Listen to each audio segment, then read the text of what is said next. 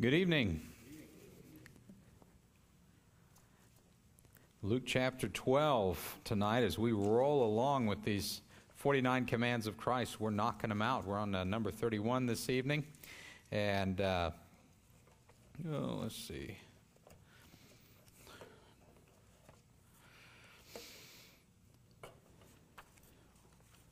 As I was preparing for this command tonight, beware of covetousness. I know we all struggle with sin, and there's no doubt about that, but I'll say at this church, one of the strengths of this church is generosity. I can say that without a doubt. I've seen it demonstrated in the lives of many people here, including our own. We've been the recipients of this church's generosity over and over again. I, uh, I challenged myself to create a list. Uh, finally, I, I don't normally like to compile acts of kindness, but I decided there was so much here at this church. I'm like, I've got to break it down. So I got three categories, all right? I got words of wisdom, words of encouragement, and then, uh, no, I'm sorry, hospitality, words of encouragement, and generosity. So, things given, or dinners shared you know dinners shared would be under hospitality watching kids hospitality a fishing pond to go fishing at invitations for meals all that's under hospitality housing us when we moved out here. Generosity would be the random checks and gift cards or or food items or i mean you name it. And i am up to eight and a half pages single spaced microsoft word 12 font in times new roman okay? So that's a lot. And that's just this church.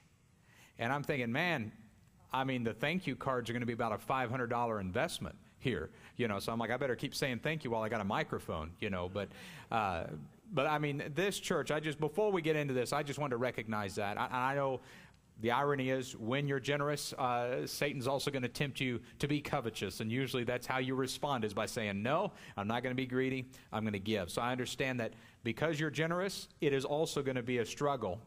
It's also going to be a struggle uh, to be greedy because you're like, you know what? Sometimes you give, and does everybody appreciate what you give all the time? Of course not.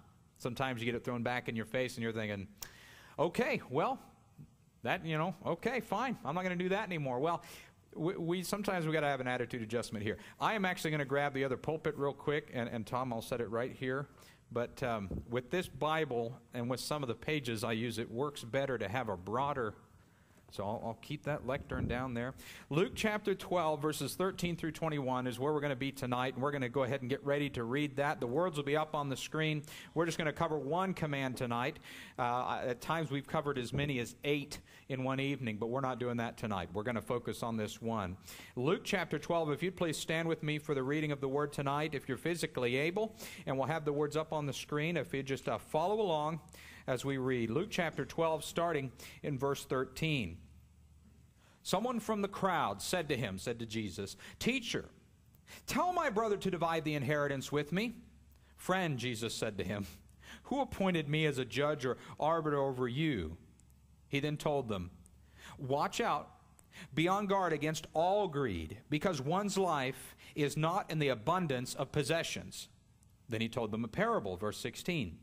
A rich man's land was very productive, and he thought to himself, well, what should I do since I don't have anywhere to store my crops? I'll do this. I'll tear down my barns and build up bigger ones and store all my grains and goods there. And then I'll say to myself, You have many goods stored up for many years. Take it easy, eat, drink, and enjoy yourself.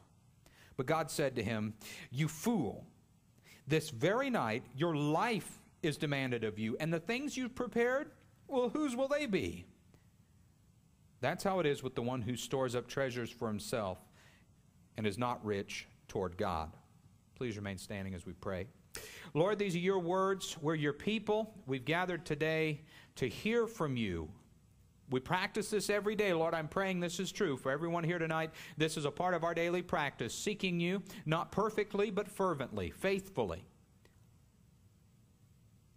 Lord, tonight we hear your command about covetousness, about greed. And we need this now more than ever in a world that begs for us to buy their products and to grab their credit and to get sucked into this machine that has so many people in bondage. Heavenly Father, I pray we work as those who are empowered by you through knowing what's going on to reach out and minister to others We pray for you to continue to show us what you have for us from your word tonight. In Jesus' name we pray. Amen. May be seated. So, is Jesus telling us in this teaching to neglect our resources? I mean, is that what you get out of this? Is he saying neglect your resources? You know what? It's just stuff. It's all going to burn. Is this world going to burn? I know there may be some differences in eschatology there and say, well, maybe. I, am just telling you, I believe from Scripture it's clear this earth will be destroyed with a fervent heat. Okay? That's the approach I'm taking here. So, uh, whether you believe that or not, it is clear that our life is but a vapor and all of this stuff is not going with us to heaven. We can at least agree on that point. So, is, is Jesus saying neglect our resources and, and don't worry about the stuff? It's just stuff? Is that what he's saying here? Mark chapter 10. Turn there with me if you will. Let's see what else he has to say about it. You know, what's the best commentary for Scripture? Scripture. Tom got it right away. That was good. I like that. I was getting nervous. That was a little bit of a pause. I believe the best commentary for Scripture is Scripture itself. I use other resources. I use other uh, expository, uh, you know, uh, uh commentaries and expositional commentary, uh, expositional and exegetical commentaries. There we go. I couldn't couldn't find the word there for a second, uh, but I believe the best, the primary commentary for Scripture is going to be itself. Mark chapter 10, verses 21 through 22. Then looking at him, we'll get to that in just a second, Jesus loved him and said to him, You lack one thing. Go sell all that you have and give to the poor, and you will have treasure in heaven. Then come follow me.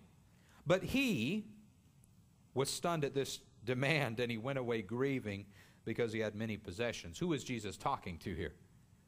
That's right, the rich young ruler.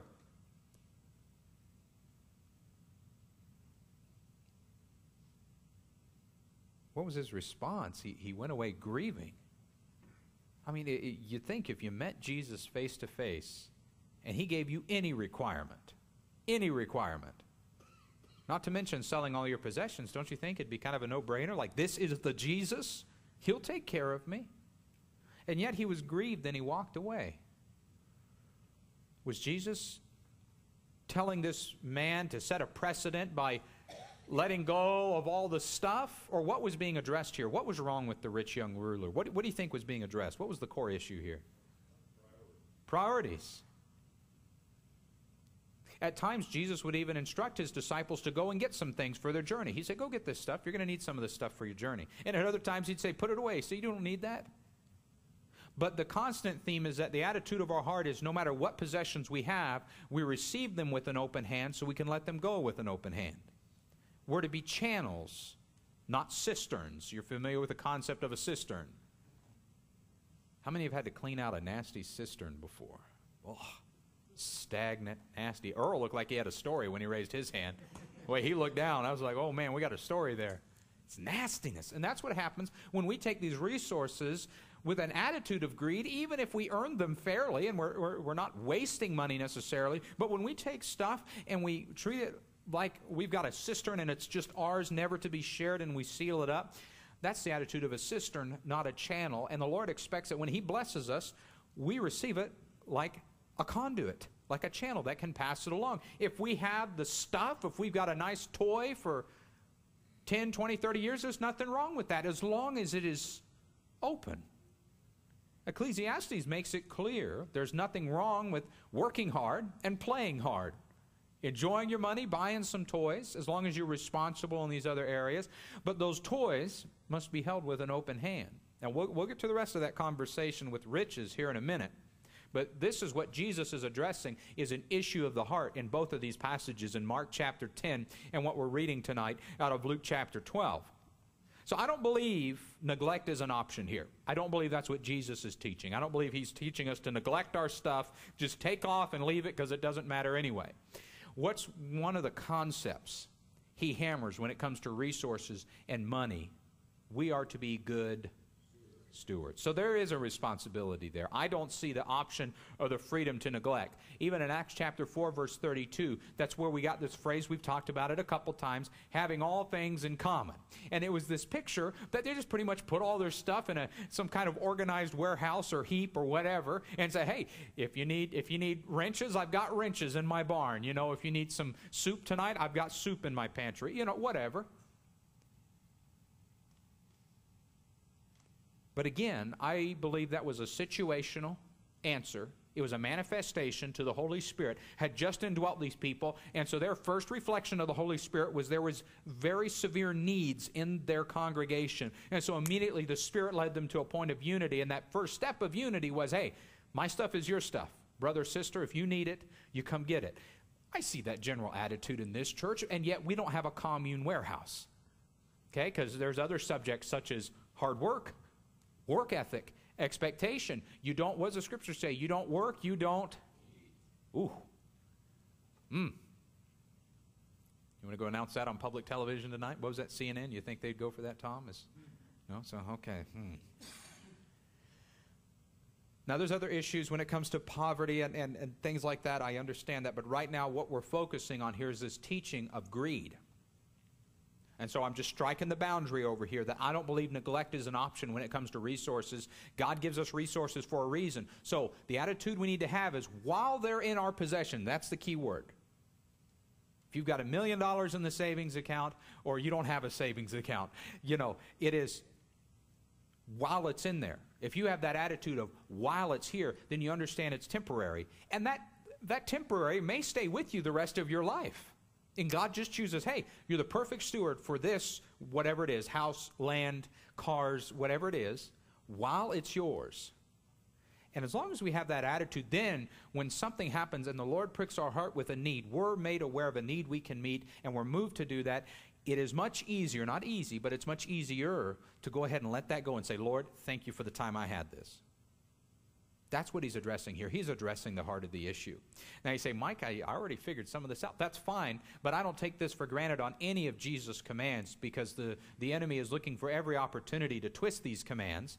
And I'm sure some people have come to you with these conversations. You know, so I'm going to be a Christian. Do I have to take a vow of poverty? Well, no. He calls us just to live with an attitude of openness. Now, does that sometimes mean that there are Christians who live in poverty? What did the Apostle Paul have to say about that? What did he say? He said, I, I've learned to be content. I've learned to do without. And I, like I said, I learned to do with abundance. And I just got to wonder what that meant. Did that mean he had a friend on the Mediterranean that hooked him up with a summer home? I don't know what that meant, you know.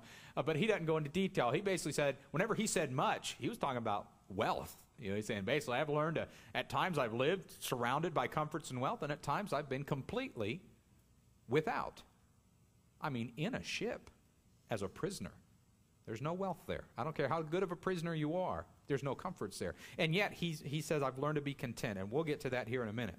So, the, the next question I have, back in Luke chapter 12, our passage tonight, verses 13 through 21, you know, he says, who appointed me judge or arbiter over you? Now, we talked about the judge standing at the door this morning, and that's not what he's getting at. He's not saying, I'm not the judge. He's just saying, uh, similar to when the rich young ruler, what did he call him? He said, Hey, good teacher.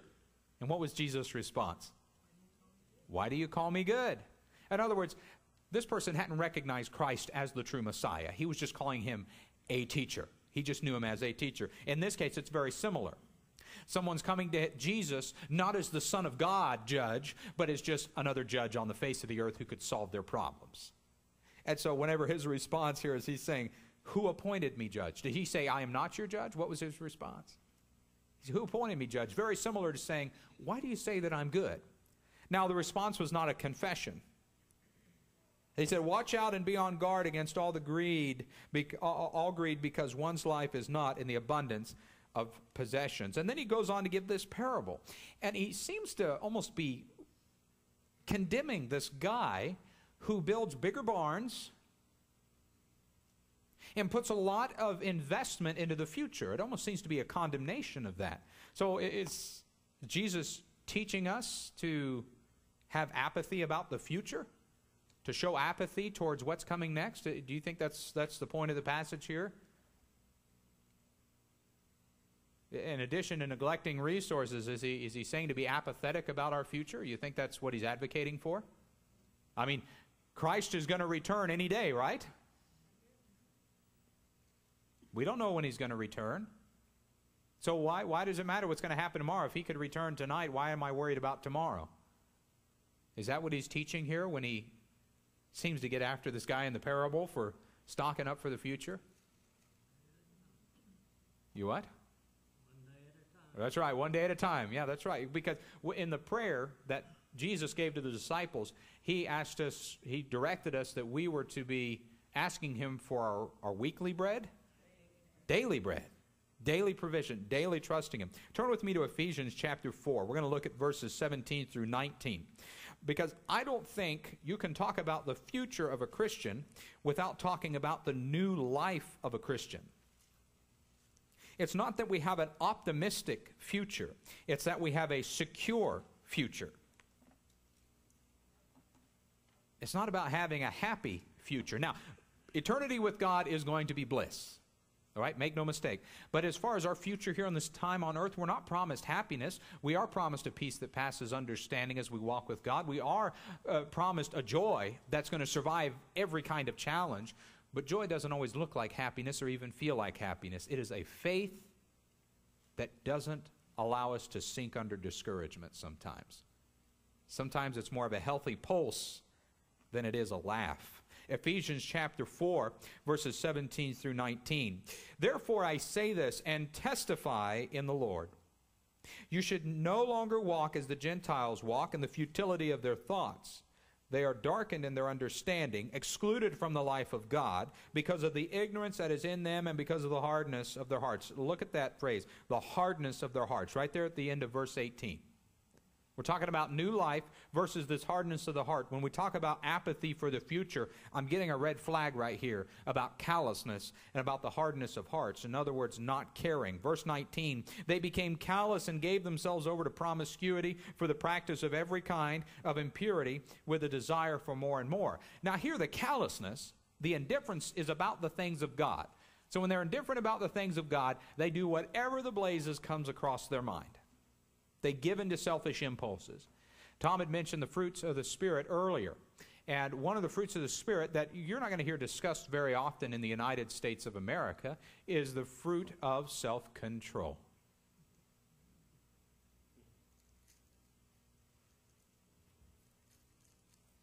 Now, when we're having this conversation tonight, we're hearing what Jesus has to teach about finances. And we're talking about new life and looking at the future with a new life mentality. I call it an eternal perspective. I didn't come up with the word, that's just the phrase I use. Eternal perspective. It's the idea of being able to look through life right now, not ignore it, but look through it, asking the question, what's this going to matter when I stand before the throne? Asking the question, what's this going to look like when my name is read in the Lamb's book of life? I already know it's written. I already know it's written in the Lamb's Book of Life. That was taken care of when I was six years old when I put my faith in Jesus Christ. But the eternal perspective is able to look through the current circumstances and what's coming down the road and is able to say, when my life is but a vapor, how much is this going to matter? Now, there are things that we do here on earth that will matter for eternity. And we need to highlight those. We need to emphasize those. And in this case, we're almost there. When we're talking about covetousness, what would be the opposite? Give me some ideas here. What, when you think of the, the antithetical example of covetousness, what words come to mind?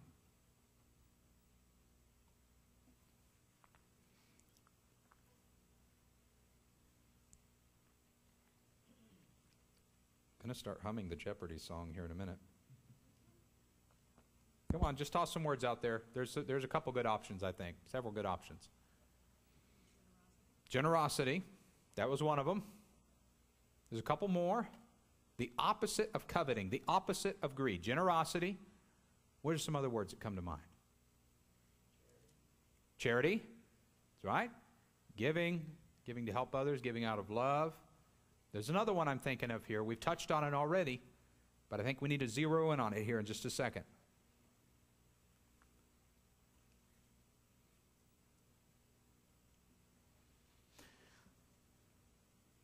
Matthew chapter 6. So I'm going to ask again. Let's go ahead and look at some passages real quick. Matthew chapter 6, verses 19 through 20. We're looking for the opposite of covetousness right now. And I think generosity, charity, that's a good, excellent direction. And we're going to talk about generosity a little bit more here in just a few minutes. But Matthew chapter 6, verses 19 through 20, I believe it makes it clear uh, when it comes to finances or our future, we're not allowed to be apathetic about either of those things because both our time and our financial resources are gifts to us. You can't stomp out a gift, you can't neglect a gift. Now, we're talking, I'm not even talking about spiritual gifts right now. I'm just talking about the gift of resources and the gift of time.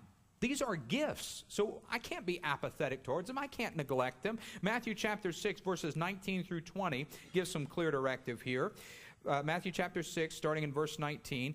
Don't collect for yourselves treasures on earth where moth and rust destroy and where thieves break in and steal, but collect for yourselves treasures in heaven where neither moth nor rust destroys and where thieves don't break in and steal. Now, it would be simple for me to stand here and say that passage isn't talking about money at all, but I think that would be a lie.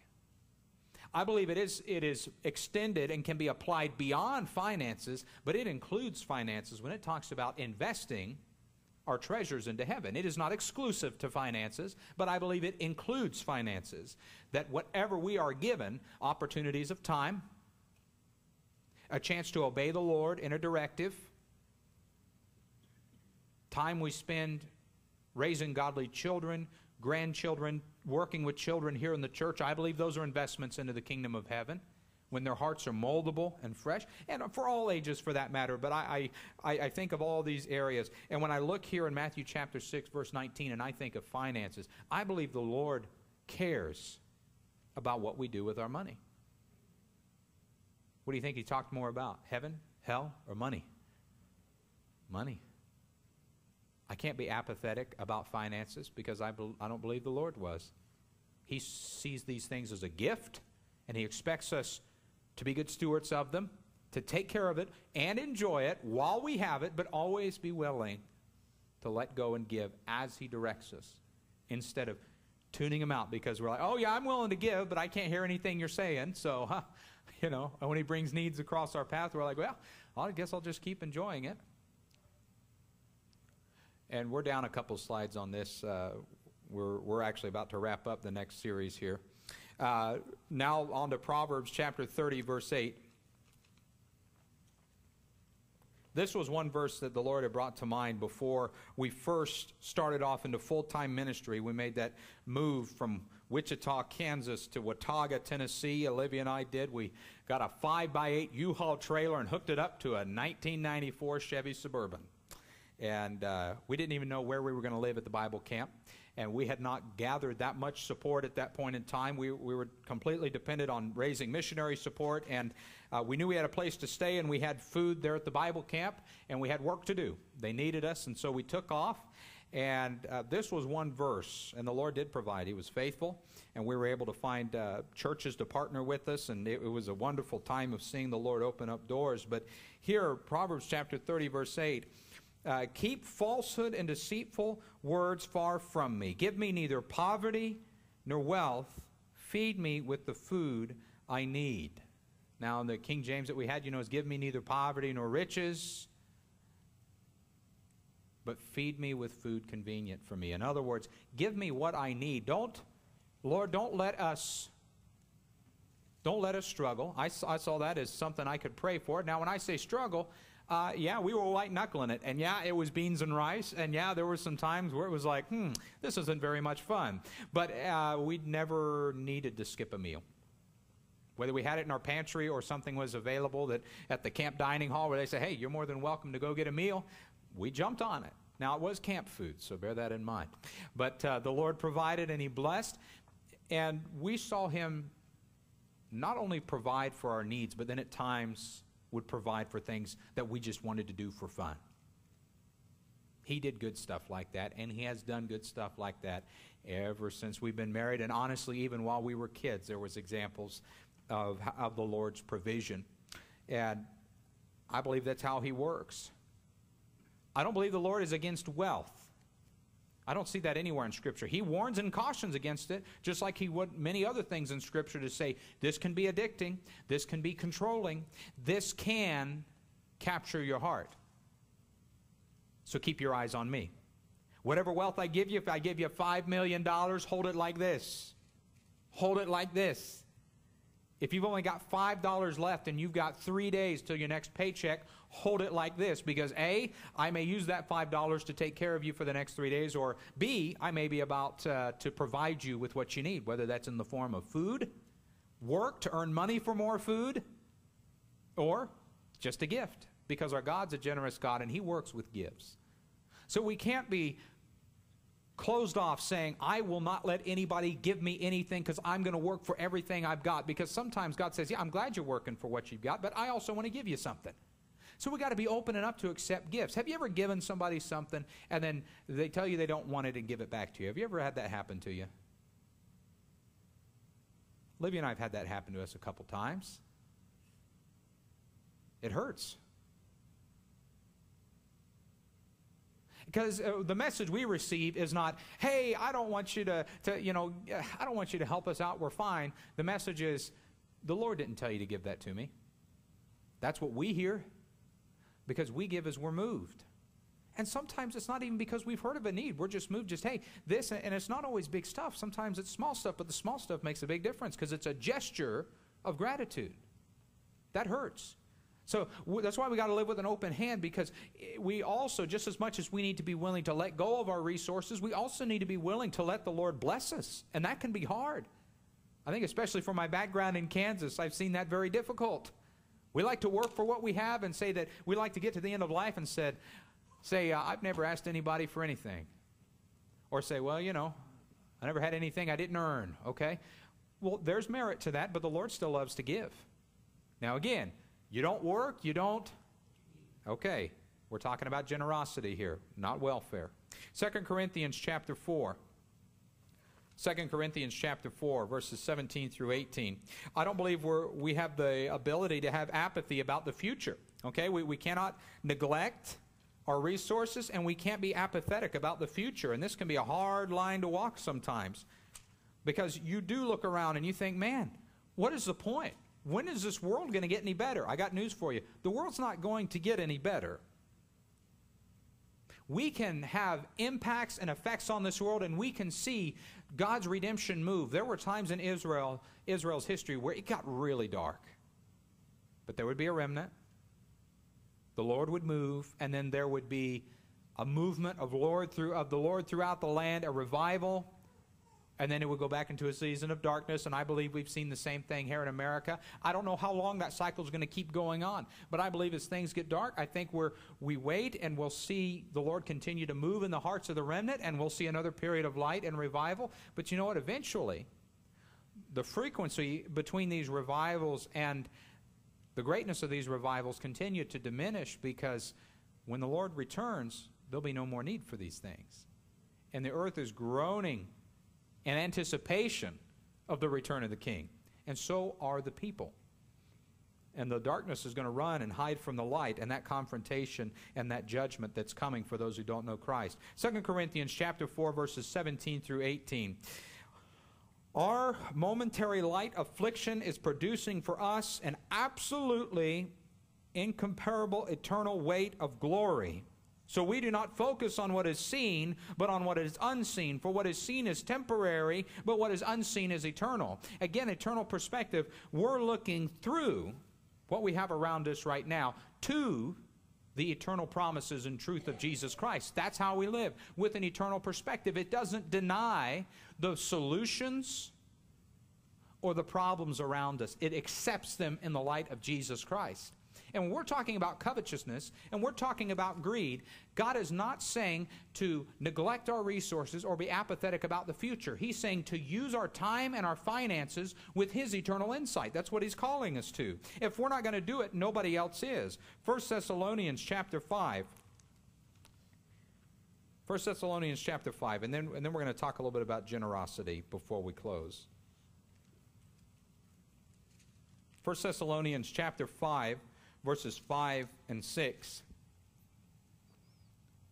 We of all people should be alert, engaged, and vigilant about the Great Commission until the return of Christ. We should know this. 1 Thessalonians chapter 5, verses 5 and 6. For you're all sons of light and sons of the day. We don't belong to the night or the darkness. So then, we must not sleep like the rest, but we must stay awake and be serious. Do you see room in there to be apathetic about the future of the United States of America? Do you see room there to be apathetic about the future of our children and grandchildren? I don't see any room there. I'm told we're to be engaged, we're to be participating in solutions here. Christ centered solutions, the kind of solutions he came to bring. We don't find other solutions and put his name on it. We find the solutions that he brought down and we apply those. I'd ask you to think about another word. There's one more word before we move on and finish our last point tonight. We got generosity, we talked about charity. There's another word there when it comes to the opposite of covetousness, and it's another C word.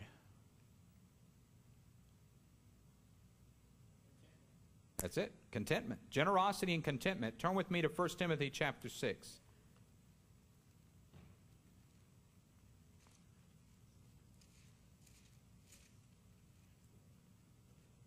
I got to know, Ross, did you come up with that or did Charlotte tell you to say that? Oh, okay, okay.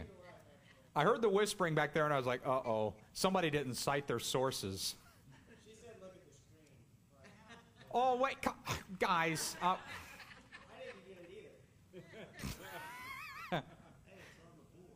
Stop it. Thank you, Kent, so much. Somebody get that man a pumpkin spice latte. First Timothy chapter 6, verse 6.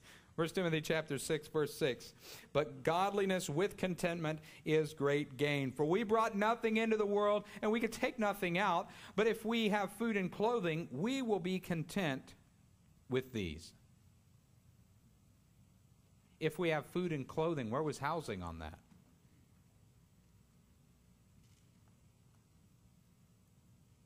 Now, I'm not making light of people who are having housing struggles, but I am saying this. God said He would make sure He would take care of our day to day needs, and I, I, believe a shelter, that shelter can be a part of that. But I'm saying this we add so much to the list that we say, Lord, how come my air conditioner broke? Can air conditioning, can a lack of air conditioning lead to some health issues? Sure. But we got to remember, sometimes He calls us to adapt and overcome. And what we come to the Lord with so many times, and I've been guilty of this too, especially when it comes to like transportation or vehicles, and I come to the Lord and I think, okay, um, this isn't working over here, and I need this to do whatever. And then if I give it another 15 seconds, I say, you know what? Actually, the Lord's provided in other ways. I'll make my need known, but then I trust that He may already have a solution. Half the times, He's already got a solution for us. And maybe he'll even grant uh, what we're thinking of, but he wants us to see that he's always providing for our needs. Can we define needs, please? I think some of that responsibility rests on us to define needs. We've got to redefine them. You know why? Because the world's telling us what our needs are. What was so revolutionary about Apple, the company Apple? What did Steve Jobs do to the market in a huge way that no one else had done before. What was he known for when it came to products and needs? He convinced people they needed the product. He said, I, I want to tell people what they need. Now, he wasn't the only one. He, he built off of a model that had been pre existing, and he did very well at it. Um, Jeremy Benstein is an editor for a Jewish publication called My Jewish Learning, and he's done a lot of research into the, the history of our economy and our anticipation of, uh, of products and stuff, and when it comes to greed. And here's one of the here's a statement that I think hits the nail on the head for 2017. Because producers covet consumers' money, they need to get consumers to covet their goods. Social historians note a change in American advertising after World War I from conveying product information to a manufacturing desire. The public then, and business people feared that was too fragile. So, to rev up the economy, products were associated with images, glamour, and personal identity. Marketing moved from fulfilling needs to creating them. 30 years later, the post World War II boom gave us planned obsolescence, whose most recent incarnation is the need for continual upgrading of our electronic gadgets. Planned obsolescence. They design things knowing they'll need to be replaced. How about car parts? The days of the shade tree mechanic are getting more and more limited. I don't think it's because there's a loss of desire, although that's part of the problem. So you've got a lot of people that just don't want to put in the hard work. But if you try to work on some of these vehicles, there's so many compu- I mean, I, you know, I see Dave Ruddick shaking his head. He could tell you. I mean, he knows cars.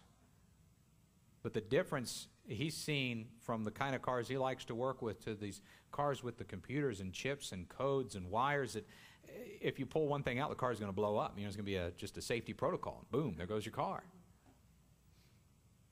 I can remember Dad was concerned when I was a kid because uh, he had a 1995 Bonneville, and he was concerned because uh, it felt like the transmission was going out. And I mean, things, gears were slipping, and he was getting concerned. And he was a troubleshooter. I remember many nights working with him, uh, laying down there on the gravel driveway, handing him wrenches and sockets and stuff. We'd work on cars all the time together. And but he couldn't figure this one out. And I remember as a kid, that was the first time I'd really seen my dad get stumped on a vehicle. I'm thinking, what's going on? The world is ending. My dad doesn't know how to fix the car. Well, we took it in, and it turned out there was a chip that was a part of the transmission that wasn't sending codes out properly because we lived on dirt roads and it managed to the dust and dirt uh, managed to work its way up in through one of the seals and it clogged up this chip and code reader and it was a $50 part $400 for labor. Planned obsolescence. We live in a world that says here's what you need and then you're going to need us to fix it and update it for you the rest of your life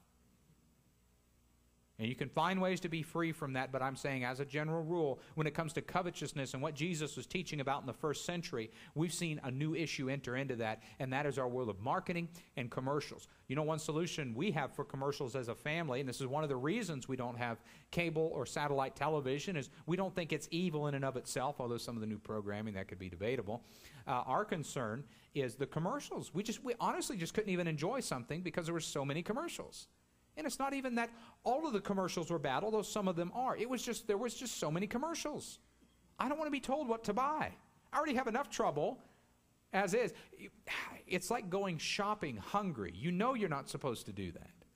And yet, every time I think I'm going to get the groceries first and I'm going to grab fast food on the way home. This is, if, I, if I ever try to help out, that's what I think.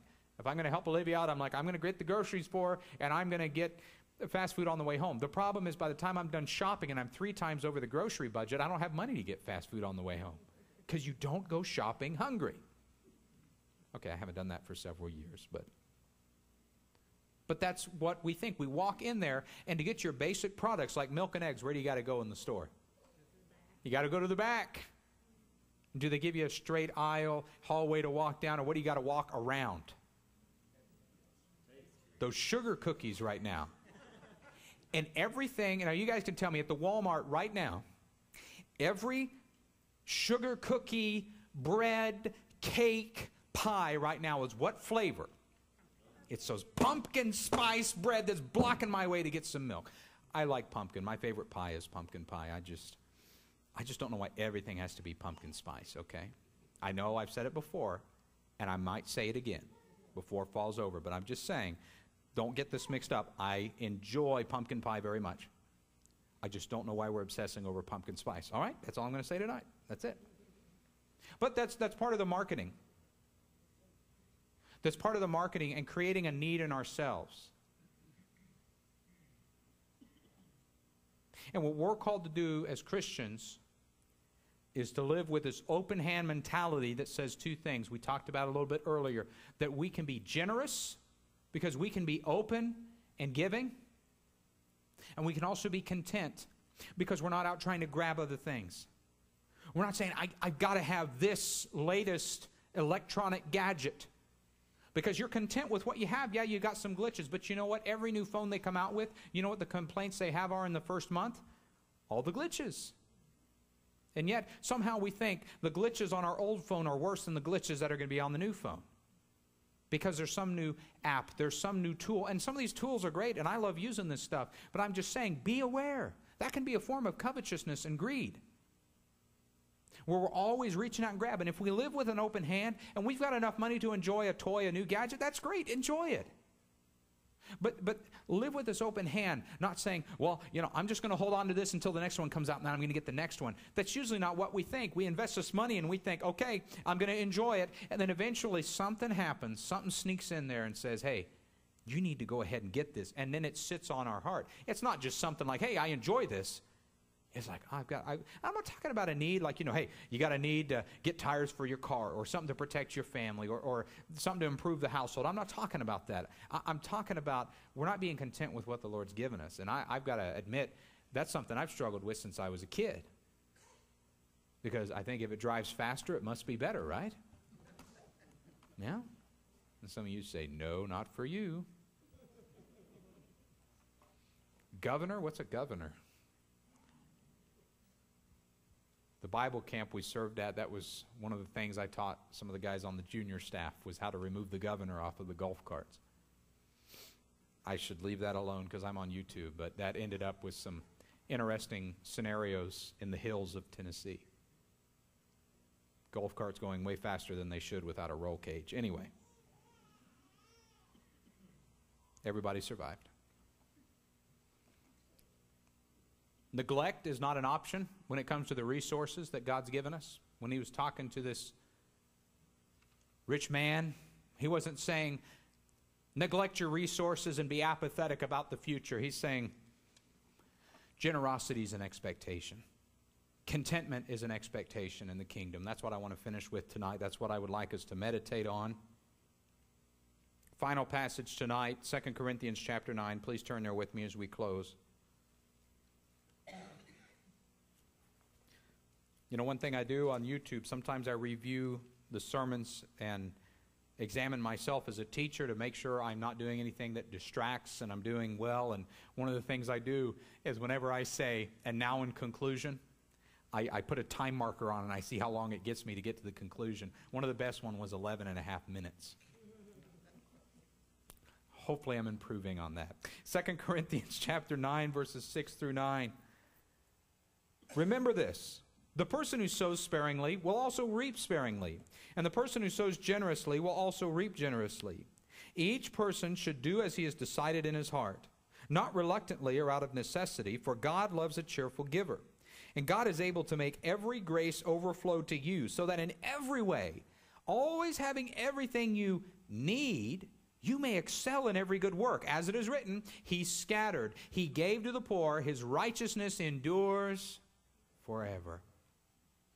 Tonight, church, I just want to remind us as we hear these commands of Christ, we're not to covet. We're not to be greedy. That's not an option. Matter of fact, when you look in 1 Timothy chapter 3 and you look at the uh, requirements for an elder and a deacon, one of those requirements is that they are not to be greedy. They're not to have this attitude of coveting what other people have. That is a requirement. Uh, we talk about the other requirements and we can get into all that, but you look for the requirements of leadership, and this is something that stays with the kingdom. There is an expectation of generosity. There's an expectation of this generous kind of love because he first generously loved us. Was Jesus Christ, did he cost us anything? No, what was he? He was a he was a gift. He was a gift, and he is a gift still to this day. And that's the example we got to show to people by generosity. What kind of an opportunity is opened up when you give something to someone who is actually grateful and also realizes they don't deserve it? What kind of opportunity do you have to share the gospel at that point in time? A very practical one and a very powerful one. And whenever people observe your attitude of contentment, what kind of opportunity do we have to share the gospel whenever we can say, I know God's going to provide for my needs?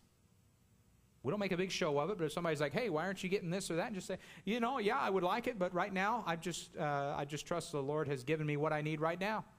And contentment's going to be at the root, and we'll talk about this another time. Contentment's at the root of a lot of other sins we find that we struggle with as Christians. Is when we get discontent, we start looking outside of God's design. That's another conversation for another time. It's enough to say, church, tonight, do not covet. Be generous. Be content with what the Lord's given take his resources, the time and money he's given you, with an open hand. Let's do that tonight. Heavenly Father, we thank you for the uh, wonderful gift you've given us through Jesus Christ, your Son. And we thank you and praise you for the time we have to gather here tonight and to hear your word, to sing your praises, to pray to you, to gather around and hear the, the uh, communion meditations around your table, Lord, just to stop and remember that sacrifice on the cross, that generosity. Heavenly Father, tonight, if there's any barriers in our hearts, if we've been givers and people have turned and slapped us in the face and we just don't want to give, prick our hearts to keep giving for your sake, not for other people's, not for the response, but for your reward. Lord, if we are not good at giving, period, I pray you prick our hearts to start being an example. And by being an example of generosity, we can create and generate opportunities with your spirit to share your gospel we thank and praise you for the examples of generosity that already exist in this family. And I pray they continue to step up as mentors, teaching and leading others how to give and how to be content. Because with contentment, with godly contentment, is great gain. Thank you for what you've given us tonight. In Jesus' name we pray. Amen.